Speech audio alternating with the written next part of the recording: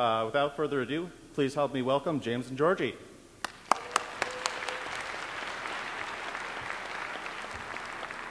Cool. Uh, thanks, everyone. Um, so I'm James, and this is Georgie. Um, right, let's get started. Uh, so, quick agenda. Um, so we're going to run through our motivation for writing a kernel fuzzer.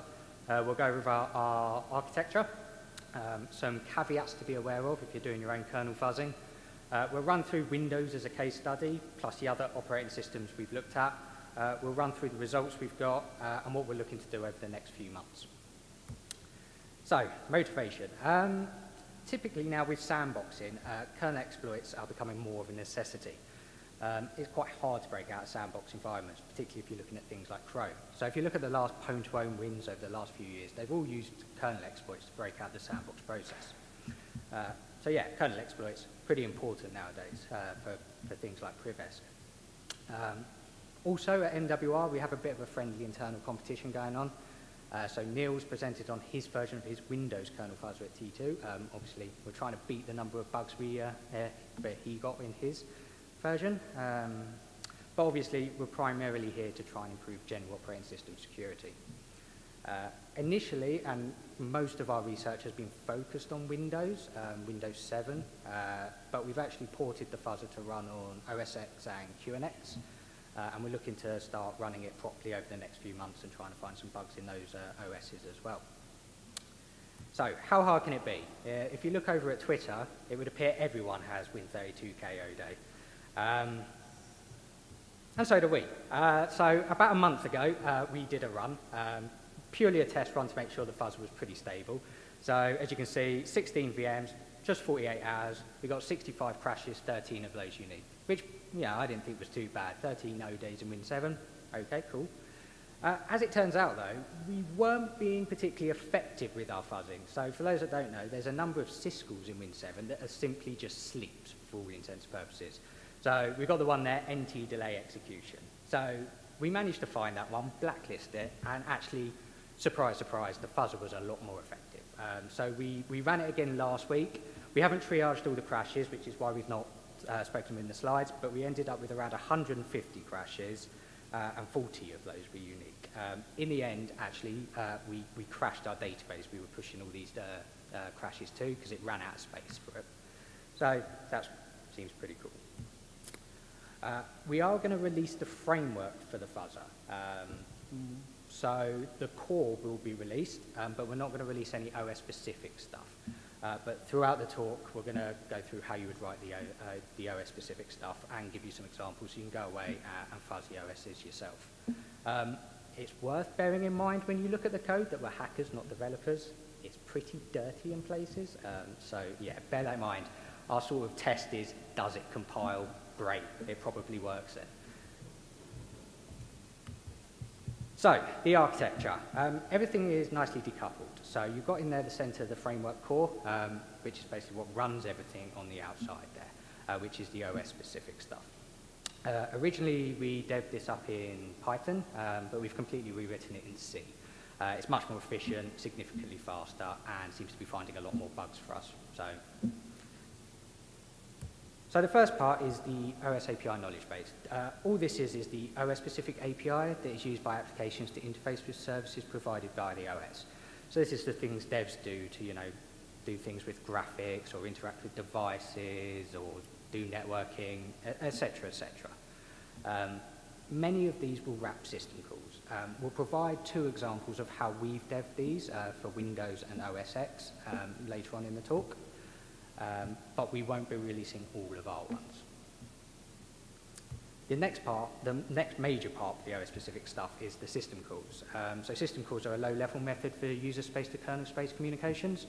Uh, these have to be implemented per architecture and operating system.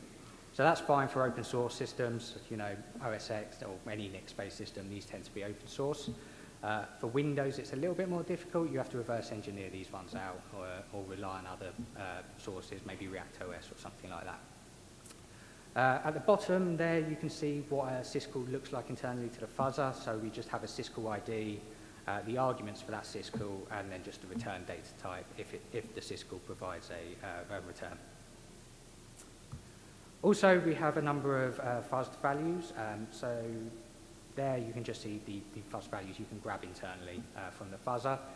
Um, we use the words fuzzed, but what we, we don't necessarily mean fuzzed, actually. Um, so really, we actually want the library calls and syscalls to work, uh, and to get these to work, we actually have to return proper values. So whilst we occasionally return a properly fuzzed value, most of the time you'll return a normal value that is going to ensure that the library call and system call works. Um. So the next part is the object store. Um, the object store is used to maintain state across a fuzzing run, uh, and it stores OS-specific objects of interest. So currently, this is handles in Windows and file descriptors in Linux systems. Uh, it's implemented as just a global array of structures. Um, it's deterministically populated by the fuzzer, and this is quite important for when we want to reproduce crashes. Uh, if this wasn't deterministic, then obviously we'd just never be able to reproduce any crashes we found. Uh, it's, it's quite easy to retrieve, update, and insert new objects into the object store. Okay, uh, the next bit is the helper functions. Um, so helper functions, we use these for things like library calls that require a struct. It works in pretty much the same way as uh, grabbing a fuzzed uh, value. So if you want to call for a struct for a library call, you make a call to the helper function and it will return you a, a struct that should be, uh, or should work fine in the library call. So, logging. Um, this is actually quite difficult in kernel fuzzing when you keep hitting crashes. Um, so initially, we didn't have high hopes for the fuzzer, uh, so all we did was log, log a PRNG seed. Um, as you might guess, as a fuzzer, we make heavy use of the rand function. So if we can just seed this again, we'll always get a, a, a same run again, which makes reproducing quite easy. Bit of an issue, though, is it doesn't generate a standalone test case, which is ultimately where we want to get to. Um, so what we've moved on to doing is logging C statements. So our log files are actually complete source files. Uh, and all we do is copy and paste these into a template. There are some issues with this, um, so occasionally uh, if we get a BSOD, we'll find that actually the OS hasn't flushed the, uh, the write to the file before it's BSODed uh, in the Windows instance, uh, so we miss out on, like, say, the last call. Um, as a workaround, what we're doing is we're usually able to grab the stack trace and the arguments and everything else and figure out what it was doing. Uh, what we're looking towards doing in the future as well is maybe using something like logging over a socket or something like that, uh, which we're hoping will work a little bit better. As you might guess, this is incredibly tedious. Um, so this is an example of our logging from a library call.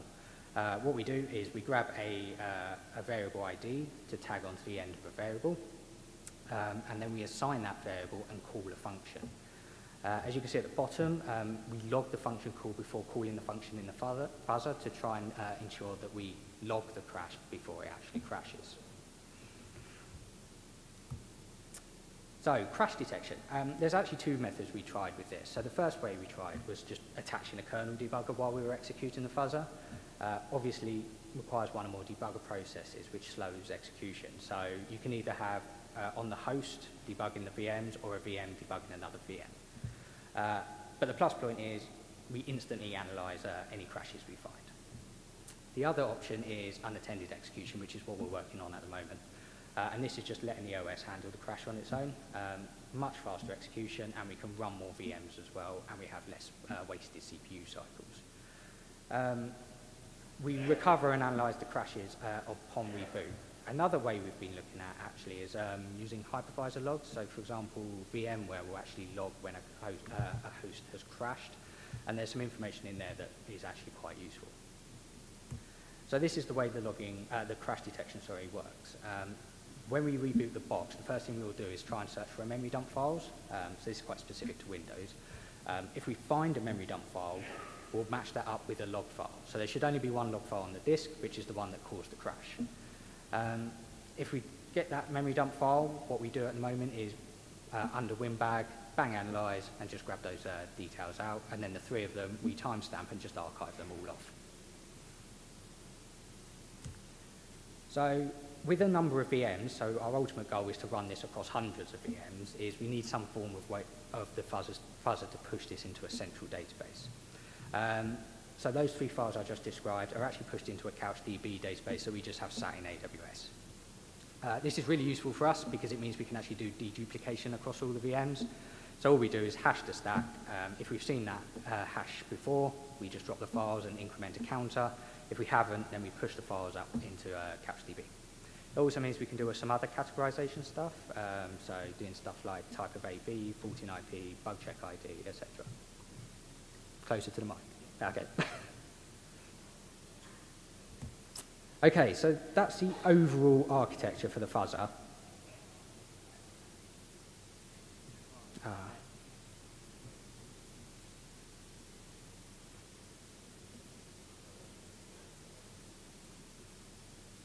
I unplug it? Oh.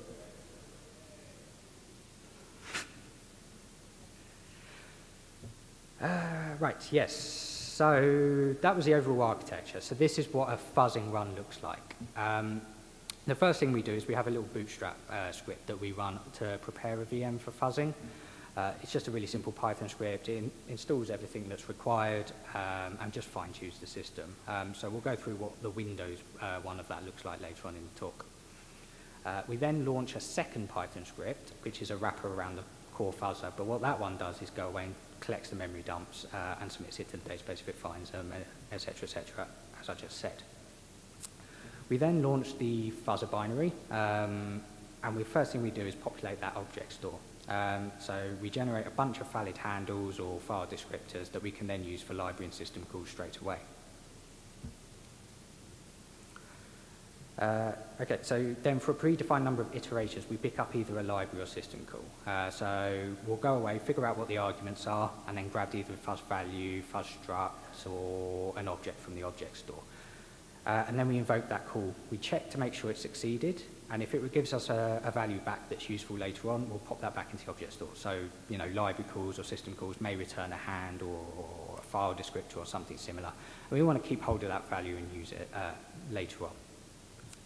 Uh, at the end, if we didn't get crash, uh, all we do is just clean up all our temporary files, remove the logs, and just try and revert back to a clean state. Now, currently, all we do is reboot the box. So this should mostly give us uh, a clean state to work from for the next fuzzing run. Uh, obviously, we can't just start the fuzzer again, because if we have done something in a previous fuzzer run that we haven't logged, it's impossible to reproduce that test, creation, test crash, uh, and it, it's useless to us. We're actually also looking at how we can possibly revert back to a uh, VM snapshot, um, as this will guarantee a clean slate to start from. A few caveats to be aware of uh, if you're going to take this framework and use it yourselves. Uh, we found a number of bug bugs in the hypervisors, um, which has meant we haven't pl placed this up in the crowd. I'm pretty sure people like Amazon will get really annoyed with us if we start crashing their hypervisors. Um, so what we're looking at doing is running it under QEMU, which is a bit inception-y, but should hopefully work. Um, you also need to look into things like, we're also looking into things on how to protect the fuzzer from itself. So on a number of occasions, somehow the fuzzer has managed to get a handle to itself and kill itself, which is kind of irritating. Um, so what we're trying to move on to is a method of how we monitor the host that's fuzzing, uh, monitor the guest, sorry, from the host. So if the fuzzer's killed itself or we've, you know, hit another sleep or done something else stupid, we can detect that and then kill, uh, start the fuzzer off again. Cool. Uh, so I'm actually going to hand over to Georgie, uh, who's going to go through uh, Windows case study.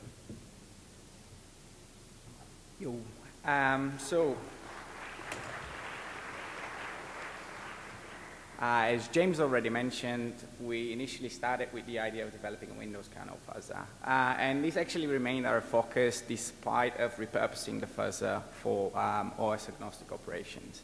So the second half of the talk is dedicated on um, getting the fuzzer working efficiently on Windows and basically writing all of these custom modules for the Windows operating system. So all of these operating system tweaks and uh, object store um, implementation details uh, that you need to consider when you take the framework and you want to basically use it for fuzzing windows. I'll be going through several examples um, for each one of these uh, bullet points. So basically examples on uh, how we uh, implemented uh, our object store, some examples on what our collection of system calls looks like in Windows, and basically some examples on the wrappers for the library calls that we have developed. Um, I will be ending this with basically what's the process of bootstrapping the Windows VM uh, before we actually start fuzzing. So the attack surface we decided to focus on is uh, the Win32K subsystem, a pretty, uh, pretty well-known uh, attack surface uh, in, in Windows operating system. Uh, this, this subsystem implements mainly three components. The window manager, responsible for desktops, windows, menus, toolbars, the general user interface elements, and the uh, graphics device interface, also known as GDI, um, which is in charge of uh, visualization on the screen, changing colors, and uh, basically just general graphics. Um, Win32k.sys also implements um, some wrappers for DirectX calls, and this is not something we have looked at um, until now.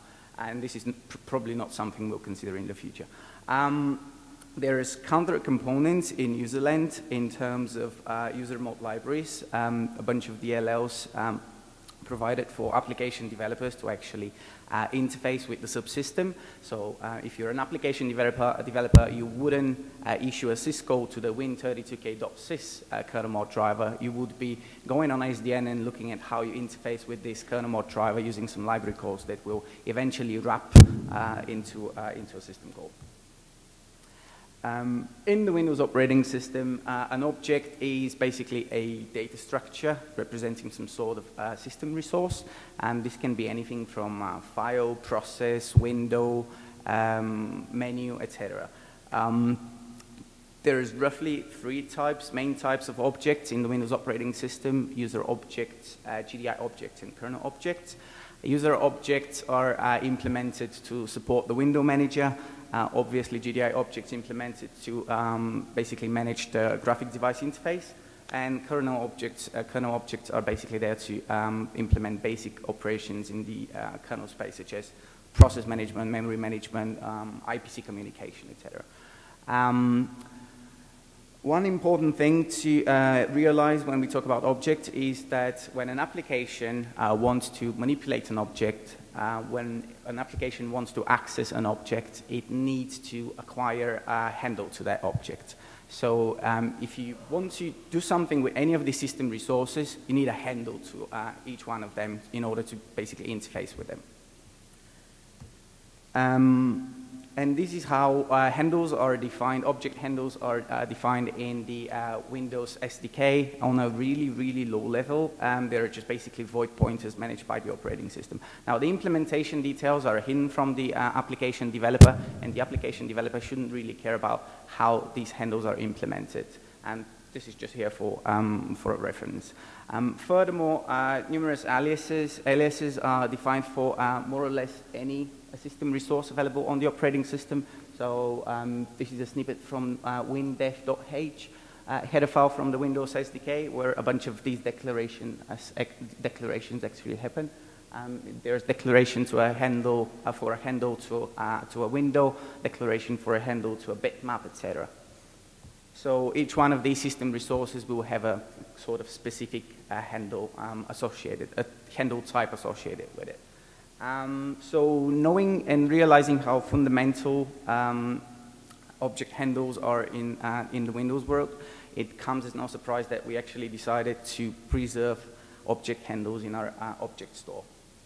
Um, the object store implementation itself is um, really straightforward. At the moment, it's just uh, a globally accessible array of 120 elements where we just preserve a bunch of handles to uh, numerous system resources. Um, handles are retrieved uh, from this um, object store when we need a handle uh, to be passed as an argument to a system or a library call. And should a system or a library, library call return successfully another handle, we consider uh, this handle uh, and we push it back to the object store. Sorry. Um, if we start running out of, um, let's say, uh, space in our object store, um, in, in, this case, it's a fixed value of 128. Let's say we start running out of um, slots in this array, we basically start overwriting some of the handles um, um, from the object store. We basically throw out the oldest handles and we repopulate the object store with some new ones. Um, one more thing uh, to basically uh, notice is the uh, BH handle struct. Uh, the BH handle struct is our internal representation of, uh, of, of, a handle. Um, it has two fields, uh, which is the handle itself, um, as well as um, the index of the handle in the object store. So handles will be changing values um, per run. Um, so basically, if we grab a handle to uh, a particular window in one run, this handle will have one value. If we grab the if you grab a handle to uh, a, an identical window in a second run, this handle will have a different value. So how we uh, grab the same handle twice by basically referring to the handle not by its value but by its index in, uh, in the object store. Excuse me. Um, we have implemented a number of functions to interface with, uh, with the object store I'm talking about. Um, the first one is basically there to bootstrap the object store uh, populate the object store with some handles before we even start fuzzing, so we can actually use some handles as arguments for library and system calls. Um, the second one is uh, the function get random handle. This, this function will basically look up the store and randomly pick up a handle from it. Um, it will then wrap the handle in a bh handle struct, uh, which uh, helps us successfully log the location of the handle in the object store when we uh, issue logging statement. Um, we have another function for querying the uh, object store. This one is get specific handle. Uh, this one takes one argument, which is basically the index of the handle we want to uh, extract uh, free from the, from the object store. Um, we also have a function for uh, inserting handles back to the object store. Again, should the library call return successfully a handle, we just push it back to the object store. Um, for populating the knowledge base of system calls, well, basically for the majority of them, we had to reverse engineer them. Um, we started with uh, mainly system calls implemented in, uh, in, in, the Win32k subsystem. Um, but um, there's one thing, when I say reverse engineering, I don't really mean reversing the logic of the system call itself or how the system call is implemented under the hood. The only details we're interested in are basically the system call ID, the number of arguments for the system call in, and the data type for each one of these arguments. Um, optionally, again, uh, the return type for, for the system call. Um, so for the majority of the system calls, you have to uh, do some reverse engineering. For some of them, you may also refer to React OS, uh, but um, this is not necessarily identical to the Windows revision you're working on. Um, to implement the Cisco invocation itself, uh, we had to write some assembly snippets, and these are um, specific to uh, both uh, the operating system and the, uh, and the architecture. A little bit more about the assembly snippets in, uh, in just a second. Um, this is what um, an extract from uh, our collection of system call looks like. Um, James already mentioned uh, what a system, uh, what our internal representation of a system call looks like, the syscall struct. Um, the Syscall struct has got uh, three fields. The first one is the system call ID. The second one is an array of uh, data types for each one of the arguments consumed by the system call. And the third, an optional field, is uh, basically whether the system call returns any data type we may be potentially interested in. Um, the system call invocation, again, is um, implemented per architecture and per operating system. Uh, we have what we call system call invocation template. Um, the prototype for the template is the same across the architectures. Um, and this is the call uh, with the name buckhunt underscore syscall. Uh, this function, this template function takes 33 arguments at the moment. Uh, the first one being the Cisco ID, and the second, uh, basically the rest of these 32 arguments are uh, arguments for the system call itself. Now, obviously, not every system call would be taking 32 arguments, or I don't even know if there is any system calls taking 32 arguments at all.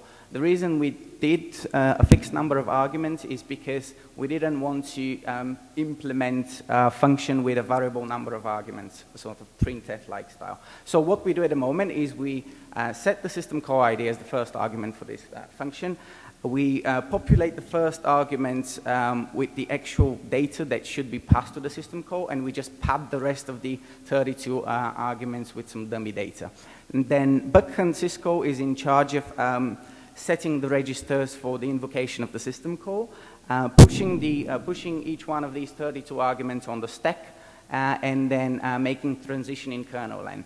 Um, once we're in kernel land, the system call is in charge of basically dispatching the request, uh, taking care of each one and processing each one of the arguments that are actually expected by the system call. Uh, the system call will then simply ignore uh, the rest of the 32 arguments on the stack, the system call will eventually return back to the bug syscall wrapper. Bug syscall wrapper will clean up the stack and return to the main fuzzing loop.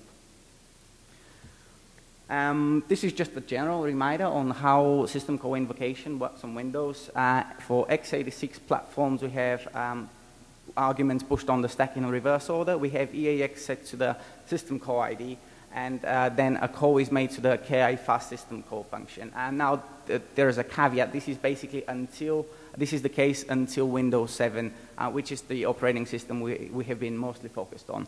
Um, I think in Windows 8 and Windows 10, uh, the KI fast system call has been basically inlined in the code. Uh, for x64, um, the first four arguments are set in registers. Uh, these are RCX, RDX, R8, and R9. Uh, if there's any additional arguments that are pushed on the stack, then RAX is set to the system call ID, and uh, the CPU instruction syscall is made to uh, basically uh, force transition into kernel space. Um, so much for system calls. Now, um, several um, examples on how to implement the OS API knowledge base. Um, the OS API knowledge base, the information that we need for it is um, publicly available on MSDN. Um, this is these are basically the library calls that, again, application developers are expected to be using um, when making uh, requests to the operating system. Um, the uh, objects, uh, the um, OS API calls knowledge base is uh, implemented as one huge array of function pointers to each one of the library call wrappers that we have implemented. Um, I think until a few days ago, we had about 500 library call wrappers. So basically 500 functions from uh, GDI32.dll, uh, user32.dll, and some other uh, user mod components. Um, as you can imagine, this is a really tedious process of implementing wrappers for each one of these. Uh, we looked at automating this by basically crawling MSDN, collecting function prototypes, and uh, turning these prototypes into library call wrappers in a more or less automated way. But unfortunately, we felt miserably with that, and we're looking forward to basically improving our approach. But at the moment, again, each one of these are uh, implemented um, strictly manually. Um, this is, um, I'm going to give a few examples now. Uh, this is the uh, destroy caret function from MSDN. This function takes no arguments and returns a Boolean value.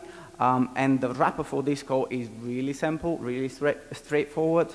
Uh, basically, we look uh, the, um, the code that we're about to make and we make the actual call. That's, that's literally it. So in the log file, we basically end up with the exactly same uh, C statement that we're making in, uh, in our fuzzer. Uh, something a bit more interesting is uh, the following one, destroy cursor. Um, on the top you have the prototype from MSDN. This one takes a single argument. This argument is um, basically a handle to a cursor object, um, and this function returns a Boolean again. So uh, what we do in our wrapper, uh, we declare the handle, uh, but not as a handle, uh, as uh, we declare it as a BH handle struct that wraps the handle itself as well as the index. Um, we uh, generate a unique, globally unique variable ID that will be appended to the variable name when we make a logging statement. Um, we then log the declaration for the handle while appending the variable ID to the end of the name of the function. We proceed by uh, grabbing a random handle from the object store and assigning it to the uh, handle that we are going to pass to the library call function. then we log the handle, but um, we log the handle by its index rather than by, by its actual value. and uh, James mentioned this, but the object store at any point of the fuzzer run is populated in a deterministic way, at least in theory. So um, if we are up to a point where we know the object store has certain handles, we can um, refer to this, each one of these handles by its index, and it should be the case of getting the same handles that we got the last time we run with the same seed. Um, so uh, we, uh, the last thing we do is basically log the final uh, code that we're about to make. This is the actual code, the, the actual library call, um, and uh, yeah, we log this with the, um, uh, with the respective variables, and, and, while again appending the variable ID at the end of them. Um, and then again, the last, the last thing is just simply make the call. Um, something a bit more interesting. Uh, so, for example, this uh, example demonstrates how to use the helper functions. Uh, the helper functions are um, uh, functions uh, that will generate a valid struct, a Windows, spec Windows specific struct that is consumed by a library or a system call. Um, and I'll be talking about the helper functions in just a bit. Um, but basically, this is a function taking two arguments, a handle to a device context and a colorref uh, uh, Windows type. Um, so um, we start with the same thing again. We declare the variables that we're going to use uh, within the wrapper. We generate the variable ID. Again, this will be globally unique across the run. Um, we um, log the handle. Um, again, notice that we log the handle as a handle, not as a BH handle. Uh, we basically hide the implementation details for a BH handle when it comes to the reproducer test case. Um, we um, grab a random handle, assign it to, uh, to our variable. Uh, the, last, the next thing is log the handle by its index, and the next thing is the interesting bit where we actually make a call to a helper function. Uh, this one is uh, get colorref, uh, and it, each one of the helper functions takes a single argument, which is the variable ID. Um, so get colorref will uh, basically hide the details for us, but it will populate uh, with mostly valid data again uh, this uh, struct that can later on be used uh, by, uh, by our library call. Um, and again, the last thing is log the statement, log the code that we're about to make and make the actual call. Um, and now, a, a, bit more about the helper functions. Um, there's just endless number of uh, custom structs in the Windows operating system, uh, and they are expected by a number of library calls and system calls. Um, and this is where the helper functions come. Uh, basically, for each one of these, well, obviously we cannot implement for each one of them, but for the most common ones consumed by the Win32k um, system and library calls, we have implemented helper functions. So basically, we have helper functions for um, returning rectangles, points, sizes, uh, windows, etc. Um, and again, um, these, these are mostly valid and they shouldn't really be uh, way too uh, malformed. Um, at the, bottom of the slide, you can basically see a snippet from the list of helper functions we have implemented. Um, again, the helper function will return a valid struct. Uh, the naming convention is get underscore name for the helper uh, for the um, for the struct, and the single argument that will be consumed is the global unique variable ID. Um, this one is really um, obvious and really easy to implement because this is just a typedefd word in, in Windows. Um, so basically, we start by uh, declaring uh, the colorf uh, variable. Uh, we uh, log the declaration by appending the variable ID to the name of the variable. Uh, we initialize the variable by calling get underscore first underscore un32. This will basically grab an, an unsigned integer from the first value store assign it to CR, and then we lock this value as it was assigned and return the, uh, the struct to the caller, which will be then passing this struct to the library call. Um, something a bit more interesting, so for example, this one is a helper function for returning a rectangle. Rectangle is a struct with um, four fields, uh, each one of them uh, type long. Um, so what we do is basically pretty much the same apart from initializing each one of the fields separately. And for each one of these initializations, we, um, we log in in our log file. Um, case study, um, uh, fuzzing the Windows uh, VM, what do we need to do in order to basically get a, a, a decent a VM, uh, basically the VM in a decent state for our fuzzer to run uh, uh, in, in, an optimal uh, way. Um, we start by installing Python 3.5, and then we have a bootstrap script that will set up the uh, VM and do some general OS tweaks. Um, this includes installing WinDebugger, uh, installing the Python module for CouchDB communication in order to submit our crashes to the centralized database. Um, we perform some minor uh, tweaks in the registry, including disabling error reporting, uh, disabling updates, etc. Uh, we enable uh, kernel memory dumps. Um, basically, this is where we get the information about the crash.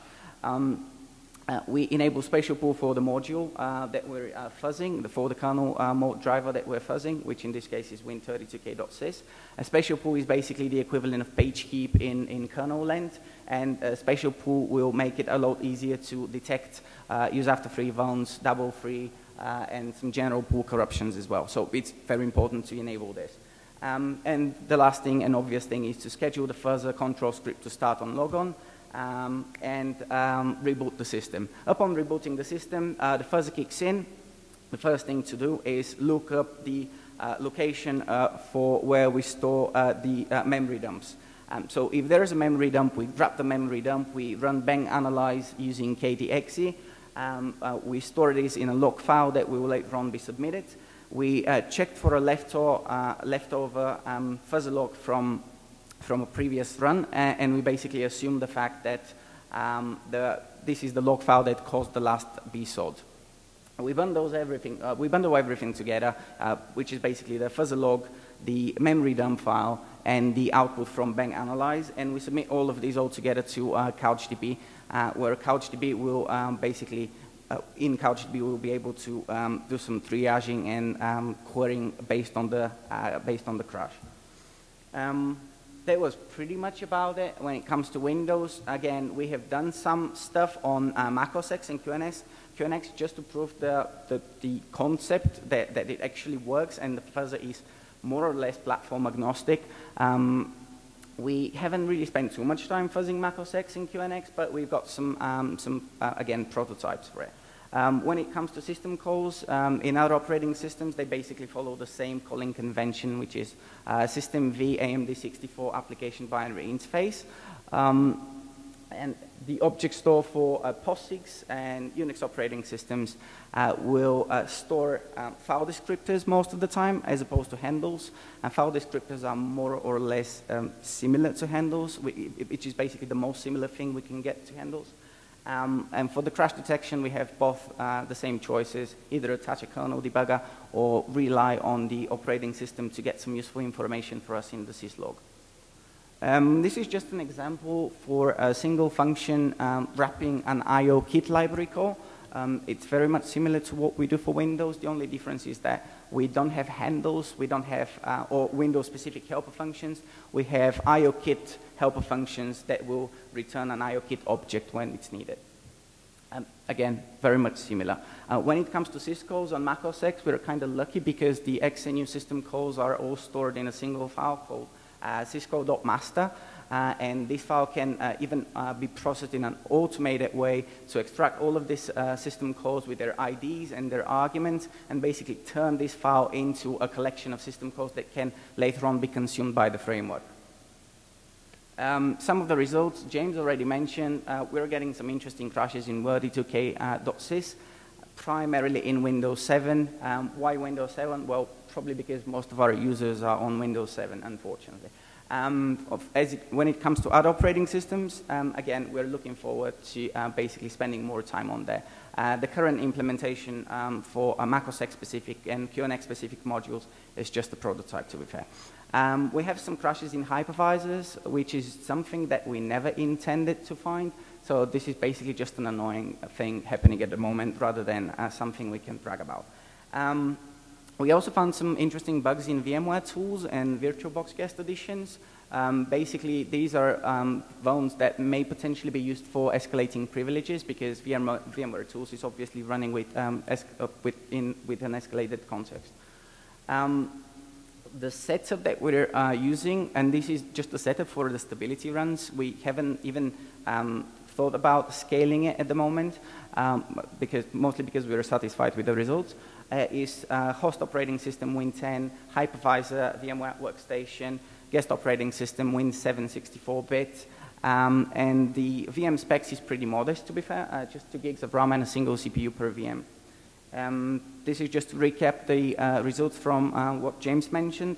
Uh, number of VM 16, stability run for 48 hours, 65 crashes, 13 of them unique.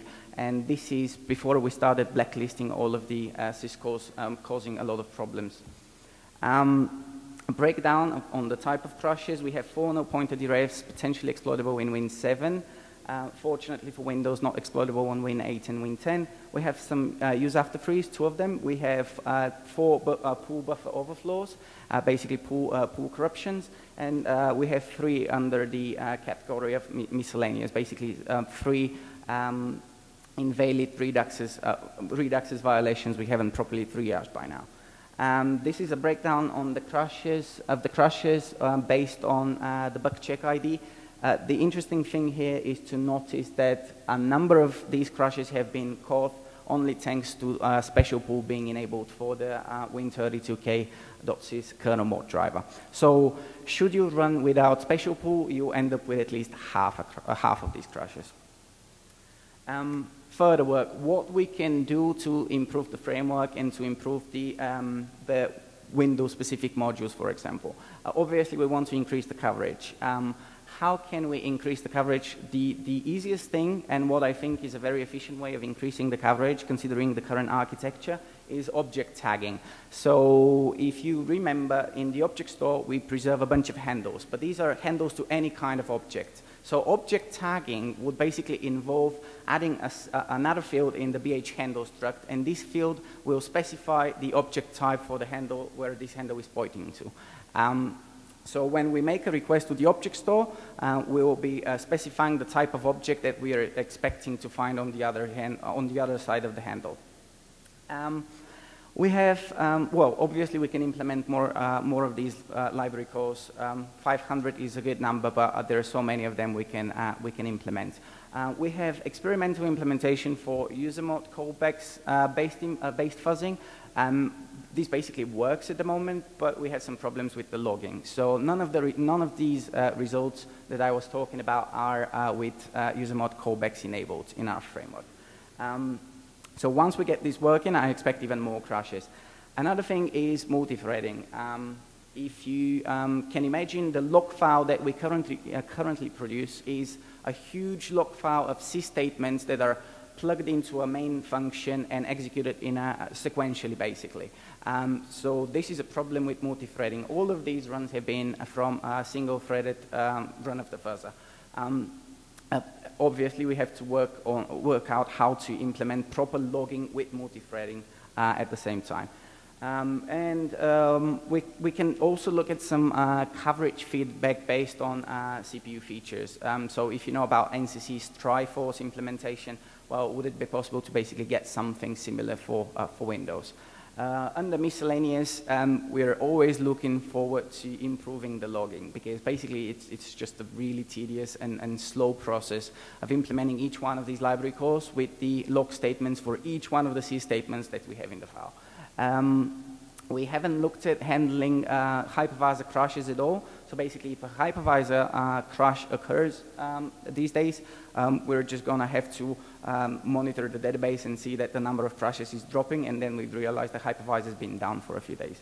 Um, test case reducer, we have considered uh, looking at uh, CReduce. This is a program uh, which is basically a test case reducer, language-aware test case reducer that can uh, successfully reduce C files. Um, we haven't really uh, implemented anything on top of that, but the basic idea is that uh, one VM will be reducing the test case, will be feeding the, this, this, test case to another VM. This second VM will be uh, compiling and executing, and will providing feedback back to the first VM, which is uh, constantly reducing the test case. Uh, and just in general, we definitely need to implement uh, DSN logging for, for the VM. and ideally, this logging should be hypervisor agnostic. So basically, this monitoring should be working on um, VMware, VirtualBox, QEMUs, and etc. Um, these are the people we want to thank. These are all people who provided really valuable feedback and uh, some useful ideas and information when uh, we implemented the fuzzer.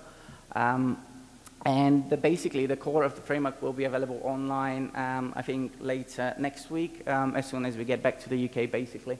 Um, and yeah, keep an eye on Twitter. Um, we'll be bragging about releasing the framework, I guess. Uh, if there's any questions, I'm happy to take them at the cafe area because I'm being told uh, we're running out of time. Uh, but yeah, thanks guys.